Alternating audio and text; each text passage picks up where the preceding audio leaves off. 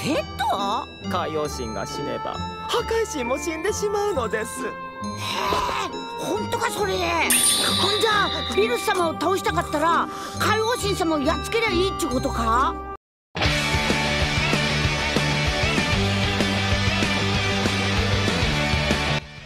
Hello tout le monde, j'espère que vous allez bien. Aujourd'hui petite vidéo, on va s'intéresser au lien qui unit un Kaioshin à son dieu de la destruction, ainsi que son tuteur, son ange. Bon là vous voyez les dieux de l'univers 6, mais c'est juste pour vous préciser que cette règle s'applique aux 12 univers. Et dans cette vidéo, on traitera bien entendu le cas de l'univers 7, qui nous est le plus familier.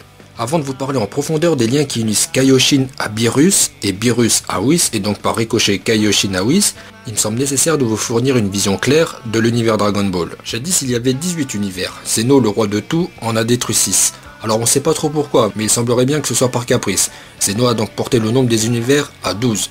Les univers marchent par paire, l'univers 1 est jumeau à l'univers 12 et ainsi de suite. Nos héros évoluent dans l'univers 7, qui est jumeau de l'univers 6. Les univers sont composés de 4 Kaio qui correspondent aux 4 points cardinaux, plus un Kaio suprême. Un Kaio peut devenir un Kaioshin, comme ce fut le cas pour Zamasu qui était autrefois le Kaio du nord de l'univers 10. Les Kaioshin sont les dieux de la création. En tant que dieux, leur qui est imperceptible. Ils sont les garants de la continuité et non pas de la paix de leur univers. En effet, un être maléfique comme Freezer qui a conquis nombre de systèmes solaires et semé chaos et souffrance au sein de l'univers 7 n'avait pas nécessité l'intervention d'un Kaioshin qui aurait pu vaincre Freezer en un coup. En revanche, un Kaioshin interviendra si son univers est menacé de destruction totale, comme ce fut le cas avec Majin Buu. Mais je vais y revenir plus tard en détail sur le cas Majin Buu qui représente un gros paragraphe de cette vidéo. Ensuite, nous avons les dieux de la destruction qui sont les opposés des Kaioshin, car ils détruisent le travail des dieux de la création pour maintenir un certain équilibre. Les dieux de la destruction ne sont pas fondamentalement mauvais, leurs ravages sont vraiment minimes. En tout cas c'est le cas pour Beerus qui passe son temps à dormir et détruit vraiment très peu de planètes. C'est d'ailleurs confirmé dans le chapitre 15 de DBS, Beerus dira à Goku qu'être dieu de la destruction est un travail tranquille. Il y a juste à détruire une planète une fois de temps en temps. Whis répliquera que Beerus n'a pas détruit grand chose depuis un moment, négligeant ainsi son travail d'Akaishin. Ce qu'il faut bien comprendre c'est que Kaioshin et Akaishin forment un lot. Au-delà du lien qui fait que si l'un meurt, l'autre meurt, Kaioshin et Dieu de la Destruction sont les garants non pas de la paix, mais de la continuité de leur univers. Et cette information majeure nous a été dévoilée que récemment, dans le chapitre 16 de DBS. Zamasu félicite Kaioshin d'avoir éradiqué la menace Majin Buu. Kaioshin lui répond qu'ils ont été aidés en parlant de la Z-Team, même si ce genre de problème est sous la juridiction du dieu de la destruction. Kaioshin nous explique donc que c'est Beerus qui aurait dû se charger de Majin Buu.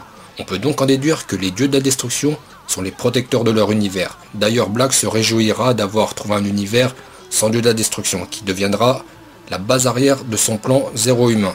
Les univers sont ainsi structurés dans Dragon Ball, avec Kaioshin et Dieu de la Destruction, maintenant la continuité de leur univers, laissant agir à leur guise un personnage comme Freezer, intervenant face à Babidi dont l'objectif était de ressusciter Majin Buu.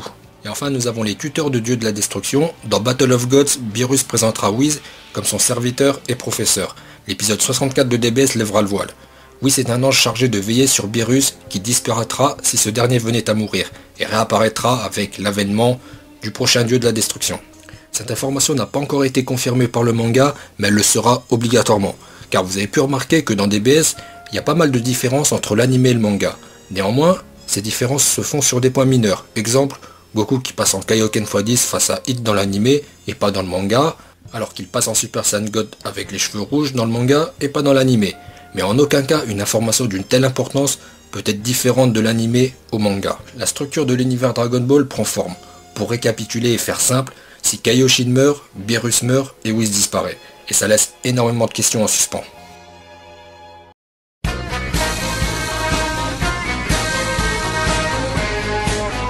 Le lien Kaioshin, dieu de la destruction, nous a été révélé par Whis lors de l'épisode 55 de DBS, puis confirmé peu de temps après dans le chapitre 15 de DBS. La première question que l'on peut se poser, c'est que faisait Beerus il y a 5 millions d'années, lorsque Kid Buu a pris d'assaut le Kaioshinkai, et dans une moindre mesure à notre époque, lorsque Buu, sous ses différentes formes, a affronté nos héros?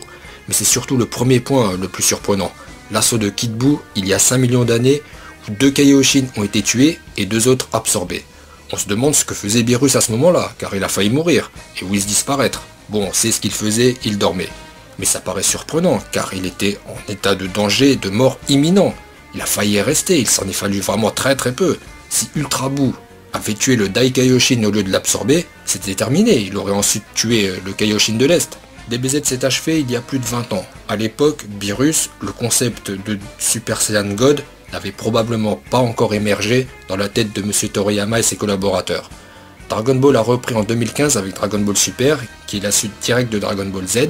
Le Kama Jinbu pose un problème de cohérence de DBZ à DBS. En attendant d'avoir une réponse officielle dans l'anime ou le manga, on va essayer de comprendre pourquoi Beerus n'est pas intervenu lors de l'assaut de Kid Buu sur les terres des dieux. Alors moi je me pose la question car euh, je ne me contente pas du simple fait que Beerus dormait comme réponse. Alors pourquoi Beerus n'est-il pas intervenu il y a 5 millions d'années D'autant plus que, comme Kaioshin le dit à Zamasu, le Kama Jinbu relève de la juridiction de Beerus. Cette question n'a pas de réponse pour le moment. Mais on peut se demander, y a-t-il des garde-fous empêchant une catastrophe menant à la destruction de l'univers? On peut penser que oui. En premier lieu, le bâton que possède chaque ange de dieu de la destruction. Ce bâton a des possibilités multiples, comme remonter le temps de 3 minutes ou servir de moyen de communication. Ce bâton alerte également de changements notables dans l'univers, comme lorsque Beerus a demandé au dragon de rendre la planète Terre à l'univers 6, le bâton de Vados a sonné. Alors pourquoi le bâton de Whis n'a pas sonné lorsque Kid Buu a attaqué les Kaioshin sur leur terre? Je ne peux pas croire qu'une menace aussi dangereuse que celle-ci soit passée sous silence. L'attitude de Beerus est plus qu'étrange. Il semble se soucier du sort de Kaioshin, car lorsque ce dernier accompagne Goku et Whis au palais de Zeno, il demande à Whis de faire attention à ce qu'il n'arrive rien au Kaioshin. Et c'est normal, vu qu'ils sont liés. En revanche, Beerus a autorisé Kaioshin à accompagner Gowasu dans le futur pour affronter Black et Zamasu, sachant que ces deux-là avaient déjà mis deux raclés à Goku et Vegeta. C'est un voyage plus que périlleux entrepris par Kaioshin et Gowasu. Pour le coup, on pourrait se retrouver avec deux dieux de la destruction en moins. Beerus ainsi que les douze dieux de la destruction sont-ils si négligents que ça? Car il est bien question de tous les dieux de la destruction, étant donné qu'un Kaioshin est plus ou moins de niveau SSJ2. Ils sont donc vulnérables. Dans l'univers 7, on compte vraiment beaucoup de personnages qui sont plus forts que Kaioshin. Résultat, le Dabra de l'époque de Trunks a pu tuer Kaioshin et Beerus. Black a par la suite tué tous les Kaioshin des 12 univers, entraînant ainsi le décès des 12 dieux de la destruction. Donc oui, les dieux de la destruction sont négligents et s'exposent à une catastrophe, comme ça a pu être le cas dans le futur de Trunks, où il n'y a plus de Kaioshin et plus de dieux de la destruction. Néanmoins, je pense que Beerus n'est pas si bête, et qu'il est même plus subtil qu'il en a l'air. Alors je vais tenter d'apporter une réponse qui est bien sûr théorique à la question principale de cette vidéo, pourquoi Beerus n'est pas intervenu lors de l'assaut de Kid Buu au Kaioshinkai. Le dictionnaire Dragon Ball, qui n'est autre qu'une traduction du Daisen Show numéro 7 paru dans les années 90, nous explique que le vieux Kaioshin a été enfermé dans la Z-Sword il y a 75 millions d'années. En 2013, avec la sortie de Battle of Gods, on apprend que c'est Beerus qui a enfermé le vieux Kaioshin dans la Z-Sword. Et enfin, dans l'épisode 55 de DBS, ainsi que le chapitre 15, on apprend ce lien entre Kaioshin et Dieu de la Destruction. Je pense que Beerus l'a joué stratégique et que son garde-fou, c'est le vieux Kaioshin et ça a été bien vu de sa part de l'enfermer dans la Z-Sword, et ça lui a permis de dormir tranquillement pendant des millions d'années, car on peut penser que Beerus est lié à l'ensemble des Kaioshin. Il y a 5 millions d'années, il y avait 5 Kaioshin plus le vieux Kaioshin enfermé dans la Z-Sword. Après on peut se demander pourquoi il n'est pas intervenu à notre époque lorsque Kid Buu a affronté Goku et Vegeta au Kaioshin Kai, car Sangohan avait libéré le vieux Kaioshin de la Z-Sword, le rendant vulnérable car Kibitoshin et le vieux Kaioshin ensemble avec Kid Buu dans les parages, c'est chaud quand même. Mais bon, on a quand même un début de réponse en attendant d'avoir quelque chose de on ne peut plus officiel. À moins que j'ai tort sur toute la ligne et que les dieux de la destruction sont bel et bien négligents, en laissant autant de liberté à leur Kaioshin. Imaginez que cette information, ce lien Kaioshin Akaishin arrive aux oreilles de Hit par exemple, qui est un assassin et surtout qui est beaucoup plus fort qu'un Kaioshin, qui pourrait l'empêcher de faire des folies? Surtout que Hit c'est un personnage qui avait une ambition à la base. Il a participé à ce tournoi car Vados lui avait promis ce cube permettant de voyager d'un univers à l'autre. Bon, c'est pas trop pourquoi, mais cette information, ce lien, faut pas que ça arrive aux oreilles de n'importe qui. En ce qui concerne le futur de Trunks, Beerus, si comme je le pense avait assuré ses arrières en enfermant le vieux Kaioshin dans la Z-Sword, eh bien il semblerait qu'il ait été victime d'un mauvais coup du sort, car Dabra a transformé la Z-Sword en pierre, qui s'est brisée en tombant. On peut penser que le vieux Kaioshin a été tué lorsque la Z-Sword fut transformée en pierre, puis Kaioshin a succombé à ses blessures, entraînant par la même occasion la mort de Beerus. Alors un petit mot sur le dieu de la destruction de l'univers 10. Euh, c'est vraiment pas cool de la part de Beerus euh, de laisser partir Gowasu dans le futur euh, faire face à Black et Zamasu. Surtout qu'il n'a certainement pas de Kaioshin enfermé dans une épée. Concrètement, la vie du dieu de la destruction de l'univers 10 ne tient plus qu'à un fil. À cause de Beerus, ça aurait même pu se finir à ce moment-là. Pour conclure, cette question, je suis peut-être le seul à me la poser, hein, Et peut-être que tout simplement Beerus dormait et n'y a pas à aller chercher midi à 14h. Ce qui me paraît très surprenant. Écoutez, euh, cette vidéo arrive à son terme. Bah peut-être que vous, vous avez une réponse ou une hypothèse. euh, Si c'est le cas, n'hésitez pas à vous exprimer. J'espère que cette petite vidéo vous aura plu et je vous dis à bientôt.